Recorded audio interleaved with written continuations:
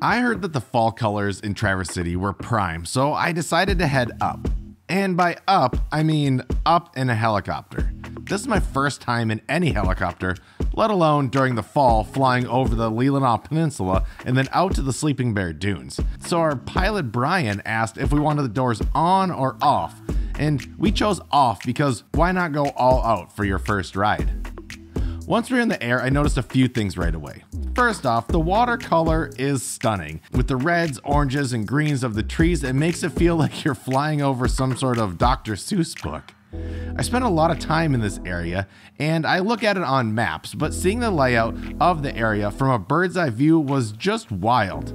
Traverse City's downtown sits way back in the bay, and I know that seems obvious when I say it, but seeing it in person just feels a little bit different. Our tour followed the Grand Traverse Bay north towards Sutton's Bay and then over some farm fields right by Fishtown. And the star of the show was definitely Sleeping Bear Dunes. For me, the dunes are just days and days of fun hiking and exploring, and seeing it all at once was amazing. I've climbed those dunes, and they're absolutely huge. I mostly stopped filming on our way back to TC Helicopter Tours hangar because I wanted to sit back and just enjoy the ride, seeing all of the area, because it really enhanced my perspective and it makes me want to go out and explore more of these spots on foot. Overall, it was a unique experience and I would recommend it to really anybody. Until next time, cheers.